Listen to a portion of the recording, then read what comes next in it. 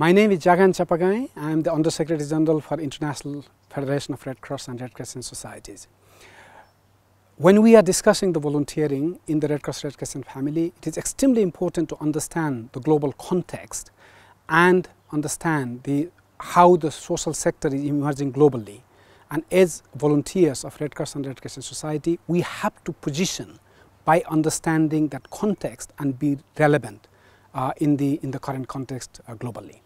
My challenge to you is at the end of this session, you come up with the vision on how you want to develop your volunteering in your national society which is agile, which carries out relevant actions in the community and you come up with the actions to ensure uh, that you can retain and motivate volunteers.